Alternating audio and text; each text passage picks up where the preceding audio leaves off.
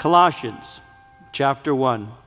We're going to be looking today at verses 1 through 14. And what I'll do is I'll take you to verse 14, but obviously uh, I will want to pick up probably at verse uh, 13 or so next week and give you some more introduction and more information because I'll be closing on ver- at verse 14, but I want to build it a little more next week, and we'll, you'll see that. That's how I usually teach. And for those of you who are not normally here, what I like to do is I'll take the first several minutes to lay a foundation so that you have an idea of the direction this book is going to go because every book has a purpose. And so I'll give you some of the direction and information then, then we're going to pick up at verse 1 and we'll go through it up to verse 14. So we're doing our introduction today in the book of Colossians. I'll give you background information, try and give you some information as it relates to the scriptures that we're looking at. We'll conclude at verse 14, pick up next week, probably give you some more information, and then move on until we complete the book. So let's begin reading together here in Colossians chapter 1 at verse 1. I'll read to verse 8 and we'll get into our study. Colossians chapter 1 beginning at verse 1, reading to verse 8. Paul, an apostle of Jesus Christ by the will of God, and Timothy, our brother. To the saints and faithful brethren in Christ who are in Colossae, grace to you and peace from God our Father and the Lord Jesus Christ.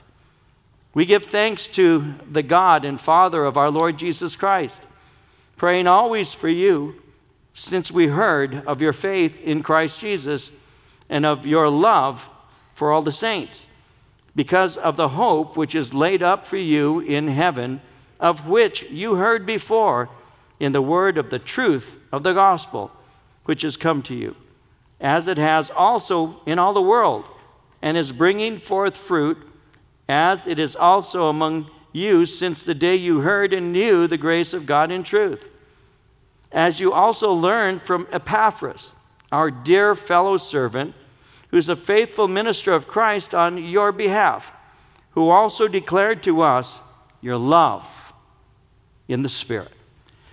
And so, as we begin, Paul is speaking concerning the gospel, the message of the gospel. And as we begin, we need to remember the message of the gospel was not intended to be preached only in the nation of Israel. Jesus intended the message of the gospel to go throughout the world. He intended people to receive this message that they might have life. And when he was giving his commission in Matthew 28, verses 19 and 20, remember at the end of the Gospel of Matthew, where Jesus is about to commission them to go out into the world, he said to them, Go therefore and make disciples of all the nations, baptizing them in the name of the Father and of the Son and of the Holy Spirit teaching them to observe all things that I've commanded you, and lo, I am with you always, even to the end of the age.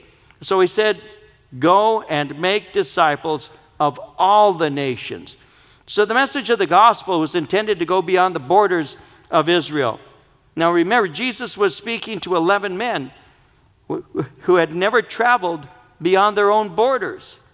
Now he's commanding them to go into the entire world.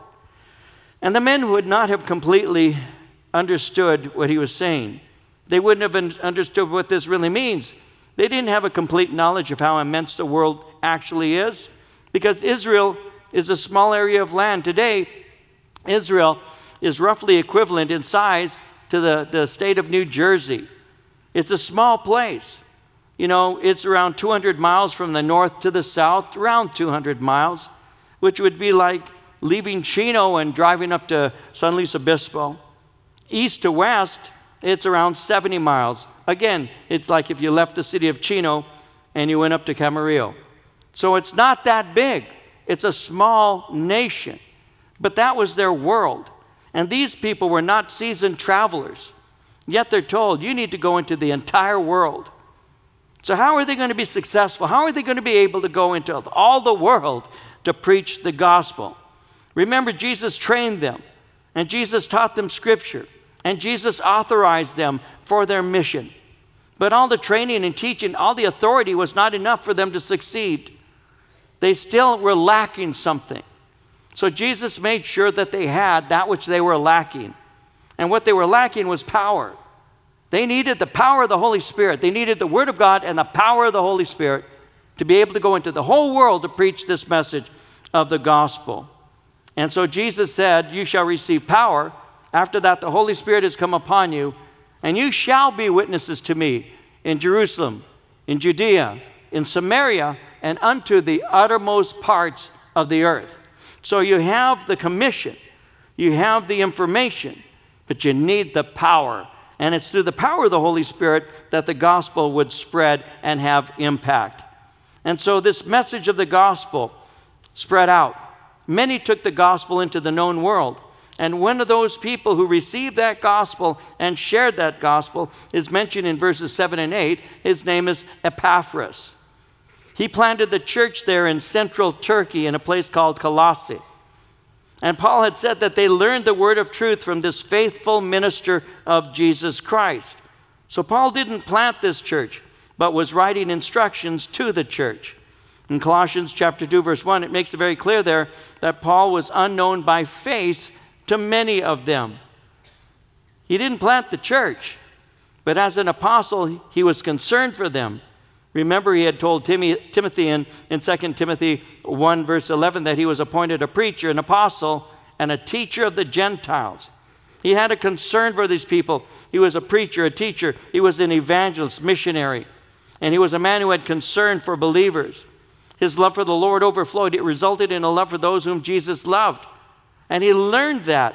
He learned how people loved, uh, Jesus loved people when he encountered Christ on the road to Damascus. Because remember how Paul was breathing out threatenings for all of those who were followers of Christ. And he was accosted, if you will.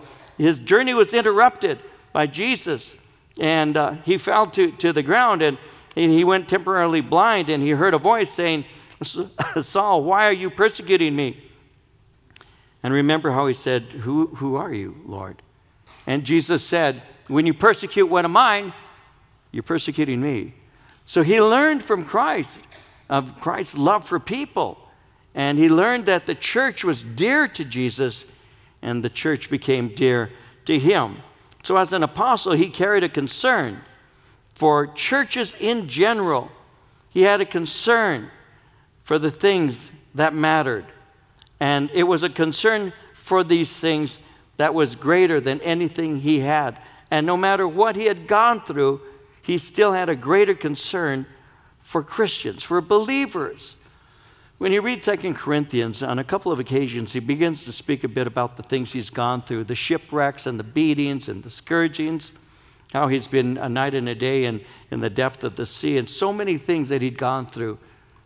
And yet, when he's speaking concerning what really mattered and what he really thought about and all of that, he says in 2 Corinthians 11 28, he said, Besides the other things, what comes upon me daily, and he went on to say, My deep concern for all the churches. So Paul had a concern for the church. And he wanted to make sure that this church was protected, the church of Colossae. Now, again, Epaphras is one of the many faithful but not famous believers in the Bible. There are many people mentioned in Scripture with great testimonies that we never hear. We, we hear of Epaphras here in verses 7 and 8. He's a fellow servant, he's a faithful minister, and he gives witness to their faithfulness and love in the Spirit to Paul. But that's pretty much what you hear about him. So that ought to help us as ordinary people in the day that we live in. Instead of trying to seek for great things for ourselves, even as we're told by Jeremiah, seek them not. There are some today who seem to have forgotten that. We need to remember that much of our story will never be heard by anybody else. The world isn't going to hear about us necessarily. And that's okay because we need to be faithful in what we're called to do. You see, there are many, many who are used in wonderful ways that are known only to God and very few others. And that's all right because most people remain unknown and most people never become famous. It's like what Paul said in 2 Corinthians chapter 6 verse 9 when he spoke and used the phrase as unknown and yet well known. Paul was speaking of himself. He says, I'm unknown to some, but well known to those that matter. And in your life, that's the way it is too. One of the things that we need to understand is it doesn't really matter who knows our name as long as he does. If God knows your name, that's all that really matters. And, and that really should be what we're concerned about not being known by man, but being recognized by God, so that the Lord may say, Come on in. I prepared this from the foundation of the world for you. So come on in. I know your name, even though others may not. Paul said that I'm unknown, but I'm well known. I'm unknown to some, but well known to those who matter, but I'm especially well known to God. You see, it's from Jesus that we receive the words, Well done, my good and faithful servant.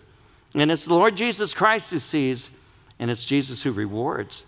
In Hebrews 6, verse 10, it says, God is not unjust to forget your work and labor of love, which you have shown toward his name, in that you have ministered to the saints and do minister. God is not unjust to forget your work and labor of love. God knows what you're doing for him, and he'll reward you accordingly. Now, Paul spent time in prison for preaching the message of the gospel, but he used the time wisely. While imprisoned in Rome, he wrote Ephesians, he wrote Philemon, he wrote Philippians, and he wrote the book of Colossians. And Colossians was written somewhere around the years 60 to 62 AD. As is true with all of his letters, Paul had a purpose in writing this epistle. He wrote to warn the church against error in doctrine. An error that's entering in to the church. And we'll see that as we go through this book. We'll see that error and we'll be looking at it. It's, he speaks of it. But this particular error that was beginning to seep into the church and affecting them was a system that combined Greek philosophy with Jewish legalism and a touch of mysticism. And they were watering down the Christian truth. And what they were doing, these false teachers, what they were doing was they were reducing Jesus Christ from Messiah, God in the flesh, they were reducing him to a Jewish philosopher. And Paul is, is, is correcting this because this error will seep into the pews, if you will, if it's not confronted and dealt with. And believe it or not, because the world that we live in today is quote unquote so tolerant of so much, believe it or not, Paul would immediately respond to error because error infects the way that you live, because the way you believe is how you behave.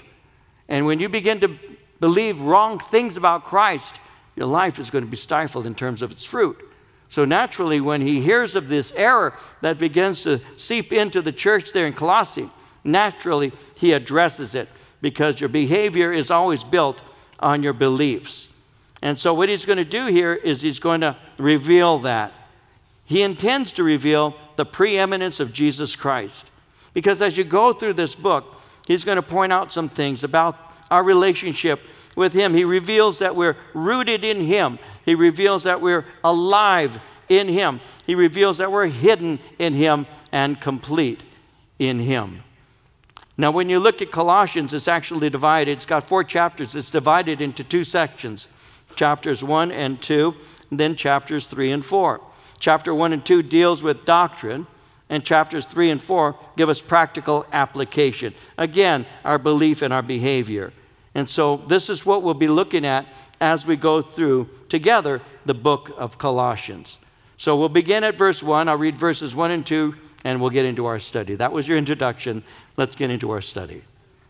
Verse 1 Paul, an apostle of Jesus Christ by the will of God, and Timothy, our brother, to the saints and faithful brethren in Christ who are in Colossae.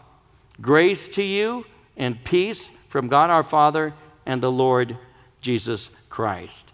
Notice how he begins Paul, an apostle of Jesus Christ by the will of God.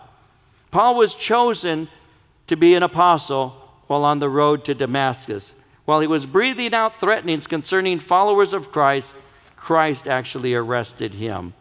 And so he speaks concerning one who's been chosen by the will of God. In Acts chapter 9, verse 15, the Lord was speaking to a man by the name of Ananias. Ananias was hesitant to go and pray for Paul because God had just said, Go and pray for him. Ananias, Ananias thought it would be wise to kind of like fill God in on some recent events. And he said to him, This is a guy who's been damaging the church, and you want me to go and you want me to pray for him. Um, and God speaks to him and says, Go. He says, This man is my chosen instrument to carry my name before the Gentiles and their kings and, be- and before the people of Israel. And so he was chosen. He says that I'm an apostle of Jesus Christ by the will of God. In Galatians chapter 1 verse 1 he said it like this. He said Paul an apostle not from men, nor through man, but through Jesus Christ and God the Father who raised him from the dead. I was not appointed an apostle by men. I didn't go to apostle classes. I was chosen by God. It's like what Jesus said in John 15, 16, when he spoke of his own disciples as apostles. And he said, You didn't choose me, but I chose you and appointed you, that you should go and bear fruit, that your fruit should remain, that whatever you ask the Father in my name, he may give you. So he says, I am an apostle of Jesus Christ by the will of God. Then he makes reference in verse 1 to Timothy, Timothy, our brother. Again, we know Timothy, who was converted to Christ under the ministry of Paul. We see in Acts chapter 16, verses 1 and 3 about him. We know that Paul wrote him two letters, 1st and 2nd Timothy. We know that his mother was Jewish, his father was a Greek. And this is a man who got saved and was traveling with Paul. And so it's Paul, an apostle of Jesus Christ by the will of God, as well as Timothy, our brother. Verse 2 To the saints and faithful brethren in Christ who are in Colossae. When he says to the saints, the saints, it's the word hagios. It speaks of being separated.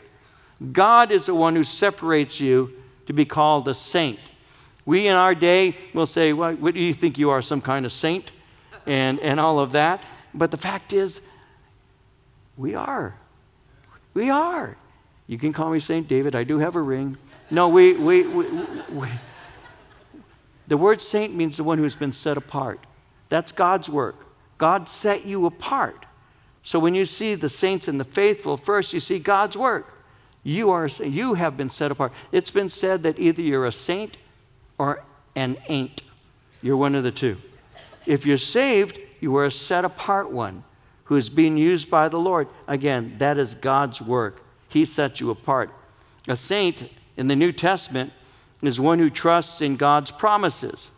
It is one who is convinced that Jesus has been raised from the dead and that Jesus is Messiah and that he is the author of salvation. Now, the word faithful speaks of man's side of salvation. You see, the faithful are those who have trusted Jesus for salvation. So he did his work, and we do ours as we serve him. Now, as a combination, God sets us apart, but we, by faith, are faithful to him as we serve. It's like what Paul said in 1 Timothy 1:12, I thank Christ Jesus our Lord who has enabled me because he counted me faithful putting me into ministry. So God is the one who counts you faithful and God is the one who puts you in ministry, but you're faithful in your service to him. And so there's your introduction. When he says grace to you and peace, I want you to notice the word grace and peace and the sequence. The word grace always goes before peace. When you read your Bible, you'll see in the letters grace and peace. You never see peace and grace. He says grace and peace. Why? Because without grace, you'll never have peace. So you always step into grace and then you experience peace.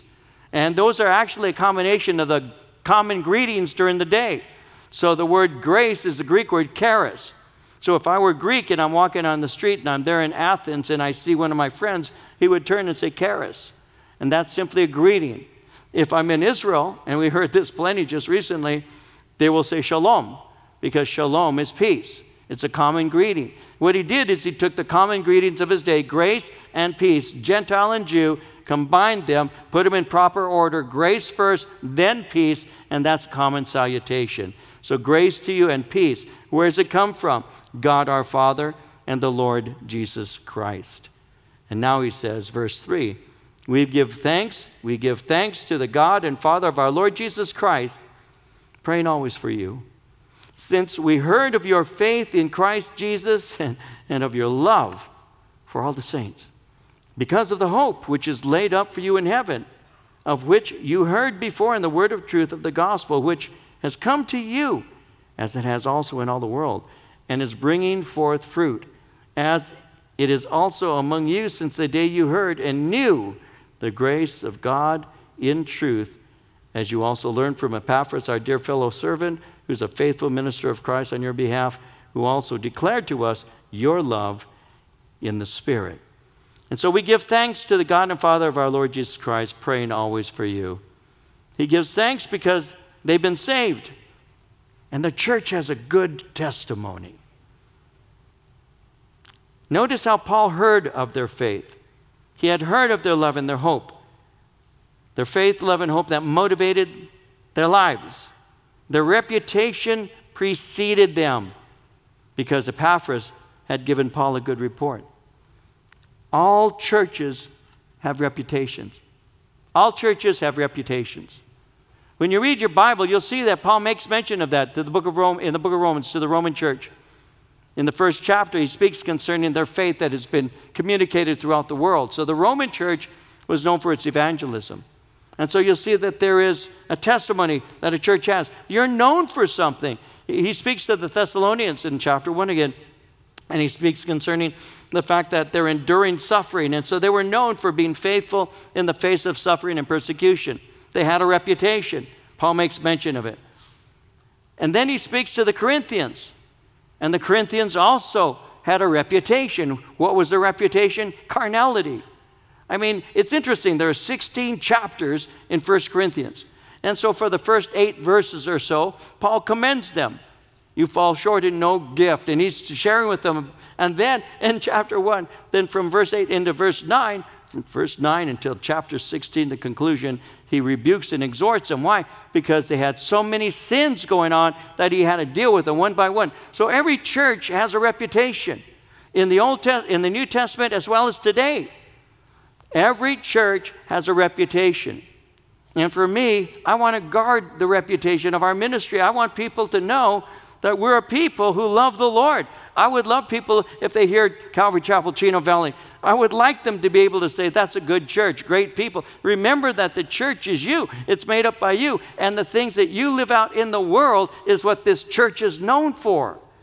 So may I encourage you to live for Jesus Christ, to live for Jesus Christ. Because you're not only reflecting on the kingdom of God, which is the most important thing, of course, you also are reflecting on your family. And this is your church family if this is your home. And so my mom used to tell me that about my poor reputation and how it affected my father's name.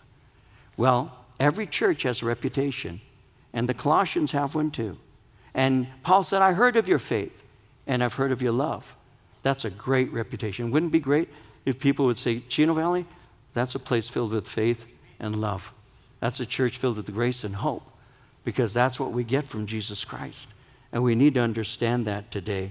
So we need to have that kind of attitude. He says it in verse 4 We heard of your faith in Christ Jesus and of your love for all the saints. We heard. We heard of your faith. We heard of your love. They had heard before the word of truth, he said in verse 5. From the day that they heard, they had borne fruit, he said in verse 6. He, from the day that he heard of it, had not ceased to pray for them. So he's hearing things, and they've heard things, and their reputations preceded them. And Paul rejoices to hear how they live for Jesus Christ. Faith in Jesus and love for other people, that reveals that you're actually saved. That's how people know you're a Christian. By this shall they know that ye are my disciples, if you have love one for another. This is how they know, because you walk in the truth, even as John said that he rejoices when he hears that his children are walking in truth. And so your way of life makes such a tremendous impact. You're to preach the gospel at all times. And when necessary, you use words because you are an open book.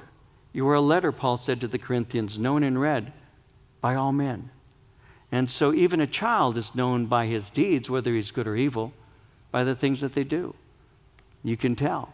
And so he's saying, You have a reputation of faith, you have a reputation of love. They also were known as those who had hope. You see, you'll not have a biblical faith or a genuine love without accurate Bible teaching. That's why Paul is concerned. That's why he's concerned about them because they need to receive the whole counsel of God so that their lives line up with God's word. And so today, unfortunately, we have some who say, Well, I, I follow Christ but never read his word. So in reality, what we're doing is following our own inclinations of our heart. Because sometimes what happens is we'll read something that we don't agree with. So rather than saying, God, you're saying something that I'm having trouble with, we just say, Well, I'll ignore that and do what I feel most comfortable with. A lot of people are doing that, unfortunately, today. But Paul would be saying that's going to be a road that is going to destroy your walk. These false teachers are walking in. As they're coming in, they're bringing false things about Christ. And when they bring these false things, you're going to stumble. So I rejoice to know that you actually love the Lord, that you have faith. And I actually am blessed to know that you actually love one another because, you know, he who says that he loves God, well, he's not going to hate his brother. Because how can a man love God whom he's not seen and hate his brother whom he does see? And so we need to understand that if we really say, I'm a Christian, that the mark of the believer, and like Jesus said, by this shall all men know you're my disciples, is to love one another. And so he's blessed over that. In 1 John 3 23, John said, This is his commandment that we should believe on the name of his Son Jesus Christ and love one another as he gave us commandment. So, if you're asking God to increase your faith, it comes through spending time in His Word. And if you desire love, it's also defined for you and refined through the message of Christ. It is revealed in the giving of Christ, but it is informed through Scripture. We're living in a time when we, unfortunately, as a society, have equated tolerance with love. And that's been a, that's, a, that's a bad mistake. The more tolerant we are, we think the more loving we are. There are times we have to define what love actually is. And we ought to. And the Bible does give us a good insight into what that is. In 1 Corinthians, for example, chapter 13, verses 4 through 8, Paul tells us love is patient, love is kind, it doesn't envy, it doesn't boast, it's not proud. Love is not rude, it's not self seeking, it's not easily angered. Love doesn't keep a record of wrongs. I remember this guy who was saying that we gets, he gets in fights with his wife. She gets, his, she gets all historical. And his friend says, You mean hysterical? And he said, No, historical. She brings up everything I've ever done. But it keeps no record of wrongs. Love does not delight in evil, but it rejoices with the truth. Love always protects. Love always trusts. Love always hopes, always perseveres. Then he said, and love never fails. So if we took time just to understand what these qualities of love are, we could apply those to our daily lives. You see, false teachers are undermining this foundation. That's why Paul's addressing it. Teaching God's word accurately provides a foundation of faith, love, and hope. And because the church has faith, love, and hope, Paul is inspired and he begins to pray for them. Notice in verse 5 how he says, Because of the hope which is laid up for you in heaven, of which you heard before in the word of the truth of the gospel. The word hope, we use the word hope as if, well, I hope it doesn't rain. You know, I, I, I hope I graduate. Uh, I, hope, I hope the Dodgers don't blow it this year. You know, we, we hope. But we, we use the word hope as if it's something we're not confident. The Bible doesn't.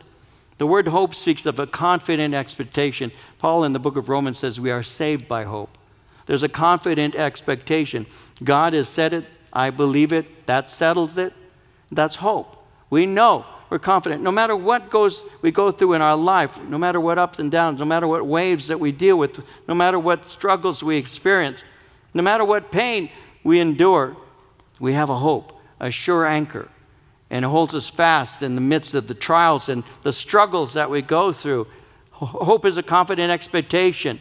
It has an, an element of future fulfillment in heaven. So we hold fast because we're just passing through. We're going to make it. God is with us. There's no way we won't. He who began a good work will continue it until the day of Jesus Christ. He doesn't leave me, nor does he forsake me. I walk through the valley of the shadow of death. I will fear no evil. Why? Because you are with me. I don't walk by myself. If I were walking in the valley of the shadow of death by myself, naturally I wouldn't have any confidence. But He's with me, He's by my side, He takes care of me, and He carries me in the times that I'm struggling. That's the God that I serve. And so we have hope, a confidence. Jesus said it, that settles it. And that's what He's speaking to, and He's pointing that out to the Colossians. You see, we believe that Jesus rose from the dead. And because he conquered the grave, in him we are victorious. The grave has no victory over us. Oh, death, where is your sting? Oh, grave, where is your victory? It isn't there. Why? Because Jesus took it on our behalf. So we have a hope of heaven. So we'll be with Jesus Christ in heaven. Our names are engraved in the Lamb's Book of Life. And one day we'll hear him say, Come on up here. And one of these days, he'll look us in the eye and he will say, Welcome in to the joy of thy Lord. I prepared this from the foundation of the earth and it belongs to you. And that's what Christians hold fast to. So Paul is saying that you have confidence, you have hope. Why? Because of what Jesus Christ has done for you. He has given us an inheritance and it's inspiring. And we will have fellowship with Jesus for eternity. Hope will never perish, unlike things of this age. Hope does not rot nor decay. Hope is permanent, it doesn't spoil, it doesn't fade. Hope is pure, it's spotless, it doesn't wither. And this hope is kept. That word kept means to be reserved, guarded, protected, or put aside. It is kept just for us by God Himself. And He says in verse 5, the second portion, of which you heard before in the word of the truth of the gospel we have hope because we can trust the message of the gospel because it's true. You can trust the gospel, it's the word of truth. In John 17, verse 17, Jesus was praying to his Father. He said, Sanctify them in your truth. And then he went on to say, Your word is truth. In Ephesians 1:13, Paul said, You also were included in Christ when you heard the word of truth, the gospel of your salvation. It is the word of truth. And in embracing that word of truth, we have life. I was in an airport a number of years ago now. I was returning from a trip.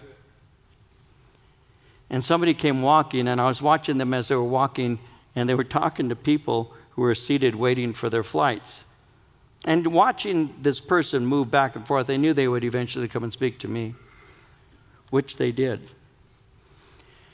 And they said, he said, Hello, I am selling a book. If you'd like it, I'd like to sell it to you for a donation. And I said, Oh, really? And what is this book? He said, It is a book that contain, contains words of life. I said, Really? He said, Yes, it's the Bhagavad Gita. He was a Hindu. It's the Bhagavad. I said, Really? He said, Yes, this book contains words of life. And I have you know, my pocket Bible. I've told you before, I carry this, my Bible, it's the sword. But I have the pocket Bible I call my switchblade. And so I had my switchblade. And I pulled my switchblade out. And I said, This is the word of eternal life. This word here tells me of my God. And the guy says to me, Oh, God cannot be seen. He is beyond fathoming.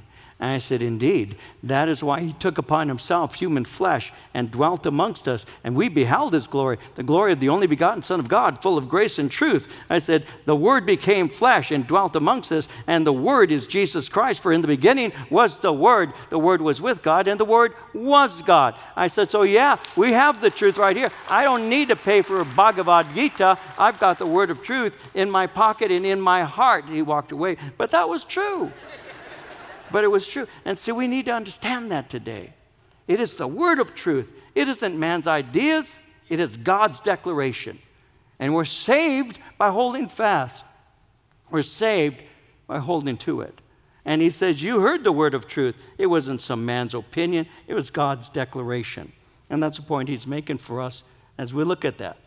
Now, I have some water because my voice is saying, Shut up, but I say no.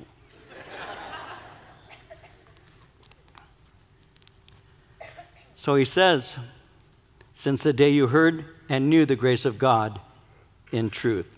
when he said knew the grace, that's a phrase that speaks of coming to know perfectly. It speaks of maturing or growing in depth. When he says knew the grace of God in truth, well, he's commending Epaphras. He's saying that Epaphras was faithful in giving them the whole counsel of God. Epaphras did not shun from declaring them the entirety of God's word. You see, a man A pastor who is going to be declared faithful by God is one who doesn't shun to declare unto his congregation the entire word of truth. You don't come to church to hear opinions by that man. You come to hear the word of God from that man. We would see Jesus, not your opinions. And so it's a man's, my responsibility and every pastor's responsibility to rightly divide the word in order that it's presented as it truly is. Not just my idea of why you should do this or don't do that, but because God's word declares we ought to do this and we ought not to do that for these reasons. And you get that from Scripture. So they had held fast to that and they had learned that. And Epaphras was the person who gave them that.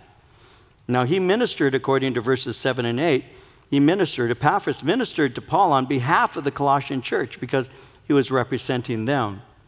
In verse 8, Epaphras spoke to Paul and he shared this report, told Paul that the church loved him. Well, as Paul is hearing this, notice what happens in verse 9. For this reason, we also, since the day we heard it, do not cease to pray for you and to ask that you may be filled with the knowledge of his will in all wisdom and spiritual understanding, that you may walk worthy of the Lord, fully pleasing him, being fruitful in every good work, and increasing in the knowledge of God, strengthened with all might, according to his glorious power, for all patience and long suffering with joy, and giving thanks to the Father who has qualified us to be partakers of the inheritance of the saints in the light. So I prayed for you. What are you praying for? Well, he said, I heard it. It caused me to continue praying. And I've been asking God in my prayers that you might be filled with the knowledge of his will and all wisdom. I've been praying that you may walk worthy of the Lord. I pray that you will be fully pleasing to him. I pray that you might be fruitful in every good work. I pray that you would increase in the knowledge of God. I've been praying for you, Colossians, that you might be strengthened with all might, according to his glorious power, for patience and long suffering with joy. I've been giving thanks to the Father, who qualified us to be partakers of the inheritance of the saints in the light. That's what I've been praying for. This is my model. This is what I've said. I want you to know the knowledge of his will. You see, knowledge of God's will is spiritually imparted as they seek the Lord in his word. In contrast to the false teachers who are trying to deceive them, Paul instructs them. And he makes it clear that it's the Spirit who fills the believer with the knowledge of God's will. And you're going to see this later on in chapter 2 and other places. You'll be seeing this as he alludes to this kind of thing. But, but this knowledge of God's will isn't going to come through diets or religious rituals or the worship of angels. He's going to present that to us in a little while. Because at that time they're saying it listen, eat certain foods and do certain things. And no, he said it's not going to come that way. So meat doesn't commend us unto God. Neither if we eat are we the better, neither if we eat not are we the worse. It isn't whether I eat pork or not. There are people who say, well, you can't eat pork. If you eat pork, you're far from God. Uh, no. I remember I was in the army and I was, I was, I was going through uh, chow line, and you're taking your life in your hands by doing that alone. and we're going through chow line, and this guy was dropping food on plates and I could see him saying something because the guys that he was serving were kind of looking at him with a double take, everyone. And I was, you know, about 10 guys back. But I saw him like that. So I thought, he's saying something. I wonder, I, I, I wonder what he's going to tell us. So I, I go up to him and he drops a pork chop on my plate. And he says, This is what he said. I'm quoting him. It was, You eat that, you're going to hell. Now, if I eat it, I might feel like I'm in hell, but that's something different. If you eat that, you're going to hell. And I stopped. I stopped. I looked at him. Huh? I said, why? Because you can't eat pork. The Bible says so. I said, is that right? Now I'm a brand new Christian. I'm four months, five months old in the Lord. What do I know? So I said, no, going to hell for a pork chop. I'm not quite sure. I've done worse things. So I went to the, I went and looked into the Bible. Meat does not commend us unto God. For neither if we eat are the better, neither if we eat, do not eat are we the worse. And I came back and I told him, no, that's not true. I don't go to hell because I ate a pork chop. We're not going to go to hell because we didn't eat certain things or did eat certain things. Because Jesus said that the real problem is, is not what goes into a man, remember, Mark chapter 7? It's that which comes out of him. Because that which comes out, that which proceeds, adultery and murder and all of that, comes from man's nature. So the point that Jesus was making concerning diets, etc., is listen, I came to fulfill the law, and I'm making all things clean unto you now. Because the real question has been answered because the food regulations were to make you realize that there's a separation but I've come in order that you might have relationship with God. And thus, I can eat carnitas anytime I want. I do. And other things that people won't touch, I'll eat that too. Like menudo. But anyway, so the point he's making is you're, you're not godly through ritual. You're not godly through a certain diet. Again, we'll see that. You're not godly through these things. You're, you're made right with God through faith in Jesus Christ. Now, he says in verse 10 that they may have a walk worthy of the Lord. Worthy of the Lord. You might have the right belief so that you might act properly. That word worthy is a, a Greek word that means uh, after a godly sort, that which is appropriate or suitable. So the desire is that we would walk, as John said in 3 John 4, that we would walk in truth. Now, in verse 10, he says, fully pleasing him. Now, how can we be fully pleasing? Well, he says, by being fruitful in every good work and increasing in the knowledge of God, by taking his word, applying it. And as they apply it, they increase in experiential knowledge. So when you hear his word and put it into practice, you actually are gaining experientially. There are things you've read but never done. When you do those things, now you gain insight. So that's how it works. If you keep my commands, Jesus said, then my Father and I will dwell with you and you'll gain a personal knowledge. That's how it works. He said, I had to pray in this way. I did. He said, I had to do this or not do that. I obeyed, and He showed up. He manifested Himself to me. The Lord says to share your faith, and, and you say, I'm, um, I'm shy. I, I can't do that, you know. I'll pray that somebody else will come and I'll pray for them when they do. But as for me, I'm shy. I don't know that much. And you argue with the Lord, and then somebody shows up and you're talking, and the conversation naturally turns towards what have you been doing? You share some things. You tell them you became a Christian. They say, Why? You begin to share. And before you know it, you're saying, Wow, I'm, I didn't even know I knew that. And God shows up and you go home with this holy glow saying, Man, what a joy. God manifested himself. That's how it works. Trusting him, he shows up. And sometimes he may not seem to show up, but that's another kind of lesson he's going to teach you so that you walk by faith and not by sight. And it's just part of growing. But it starts with obedience, and we're walking to please him. In verse 11, he says, strengthened with all might according to his glorious power so this power enables them to live victoriously, even though they go through suffering and even though they go through opposition. And then verse 12 giving thanks to the Father who has qualified us to be partakers of the inheritance of the saints in the light. He has delivered us from the power of darkness, conveyed us into the kingdom of the Son of His love, in whom we have redemption through His blood, the forgiveness of sins giving thanks to the Father who qualified us. If God has given us His grace, then our response is thankfulness. And notice He has made us qualified. That word qualified means to be made suitable. He has made us qualified to be partakers through his relation, our relationship with His Son. And, verse 13, He delivered us from the power of darkness. That word delivered is a Greek word that means to be rescued. It speaks of being drawn. It literally speaks of dragging a person out of the jaws of danger. It's like you're on the ground and a lion is about to get you, and someone drags you out just in time. And that's what he's done. He has delivered, he has rescued us. You see, he has given us power to overcome, he's given us power to not yield to the enemy any longer. We reject the enemy, we die to our carnal desire, and we follow him. And when He rescued us, He translated us, He conveyed us. When He speaks concerning that, the word convey is to transfer. It, it, it, it really applies to the transplanting of a people from one nation to another. It takes them from a settlement into a new home. He has translated us, He has taken us, He's conveyed us because we are now citizens of heaven, and our lives demonstrate that. We're different. We should be preaching the gospel with our lives. It's been said, preach the gospel at all times, and when necessary, use words. We are letters written that all men will read. They will watch my life and then listen to my words very often.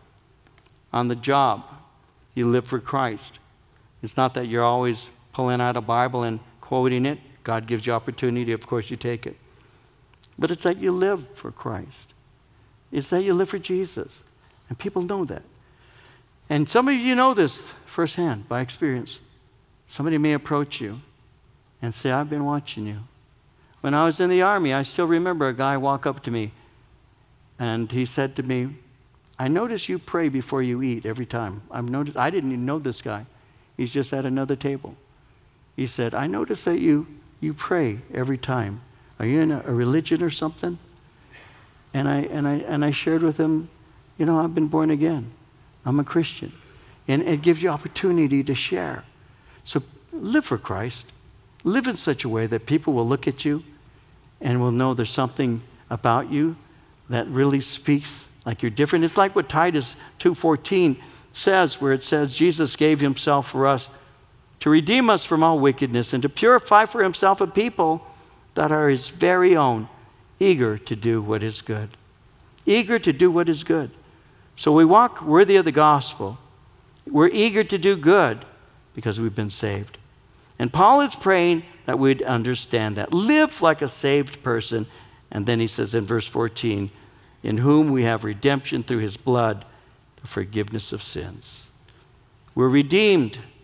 We have eternal deliverance. We were in bondage, but have been purchased. And the debt is completely paid off.